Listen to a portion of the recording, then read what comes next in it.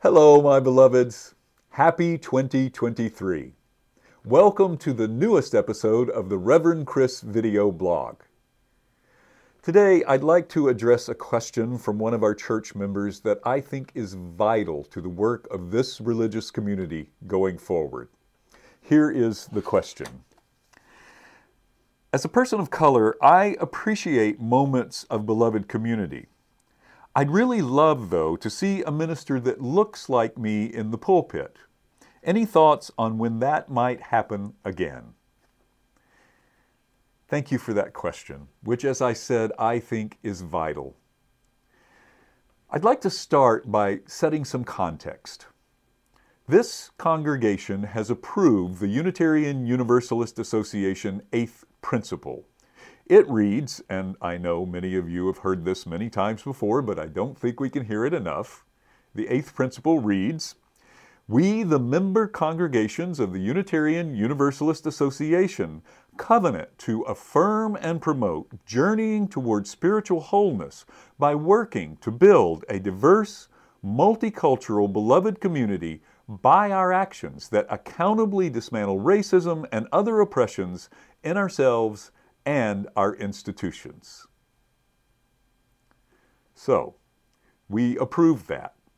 And we also have an ends statement. End statements are kind of more specific goals we can pursue to live out our mission that together we nourish souls, transform lives, and do justice to build the beloved community. Here's that end statement. We partner with other organizations and faith communities to dismantle a culture of white supremacy and other systems of oppression within ourselves, within our church community, and beyond our walls. Sounds very similar to that eighth principle, doesn't it?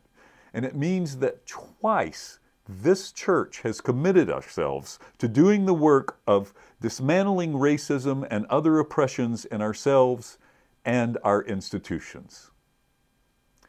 Now, to do that work, we will be using a report from the Unitarian Universalist Association's Commission on Institutional Change.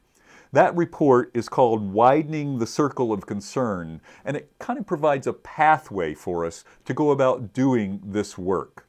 One of the major areas it asks us to look at is involving more people of color, more people who have experienced oppression in our religious professionals. And I would take that even further. I think it takes the whole church. I think we have to involve people of color and people who have experienced other forms of oppression throughout the church, on our board of trustees and our lay leadership positions throughout the life of the church, as I said. If you'd like a copy of Widening the Circle of Concern, I would love for everyone in this church to read that. I've ordered some copies, and as soon as they get here, you can check one out. You can also look at it for free on the UUA website. I'll send a link to that to you when I send this video out. And finally, you can also get it for your Kindle and read it there. One of the things that your ministry team is doing is that we're trying to, when we have opportunities for guest worship leaders, to invite ministers of color to be that worship leader. We've done that once. We'll continue to try to do that going forward.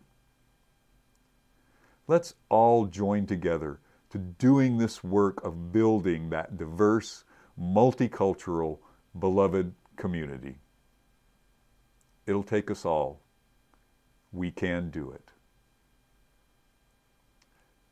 Until next time, sending you much love.